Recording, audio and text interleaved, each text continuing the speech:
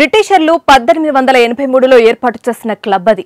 విశాఖకే మణిహారంగా నిలిచే వాల్తేరు క్లబ్లో చేరాలంటే మాత్రం సామాన్యులకు తలకు మించిన భారమే.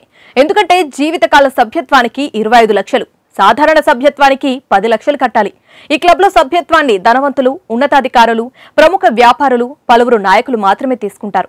అయితే ఈ క్లబ్లో పేకాట ఆడి మద్యం తాగి ఇతర ఇల్లీగల్ పనులు చేయడానికి వీల్లేదు. ఈ క్లబ్ కుటుంబ సభ్యులతో సహా అంతా వచ్చి ఓ పండుగల సాంప్రదాయ కార్యక్రమాలు చేసుకోవడానికి ఏర్పాటు చేసింది. అయితే ఈ క్లబ్ పై ఓ ఇద్దరు కన్నుపడింది. రాష్ట్ర ప్రభుత్వంలో కీలకంగా ఉన్న నాయకుడు విశాఖ కేంద్రంగా కొనసాగుతున్న ఈ వాల్తేరు క్లబ్లో చేరడానికి నిర్ణయించుకున్నారట. అయితే సంస్థపై ఆరా ఈ క్లబ్ ఉన్న స్థలం సంస్థది కాదని తేలింది. తొంభై తొమ్మిదేళ్ళు లీజుకు తీసుకున్నదని తెలిసింది. ఆ గడువు ఎప్పుడో ముగిసిపోయింది కూడా. అయినా ఖాళీ చేయకుండా క్లబ్ యజమానులు కోర్టుకెక్కారు. ప్రస్తుతం క్లబ్ నిర్వాహకులకు భూ యజమానులకు మధ్య సివిల్ కేసు పదేళ్ళుగా కోర్టులో నడుస్తుంది. సువిశాలమైన విశాఖలో వాల్తేరు క్లబ్ ధర అక్షరాల వెయ్యి కోట్లకు పైగానే ఉంటుంది. వివాదాల్లో ఉండడంతో ఈ విలువైన స్థలాన్ని అమ్మడానికి హక్కుదారులు ప్రయత్నిస్తున్నా కోర్టు కేసుతో ఎవరూ కొనడం లేదు. దీంతో ప్రభుత్వంలో కీలకంగా ఉన్న ఓ రాజకీయ నాయకుడు ఈ క్లబ్ను ఖాళీ చేయించి తాము తీసుకుంటామని యజమానులతో డీల్ సెట్ చేసుకున్నట్టు ప్రచారం జరుగుతుంది.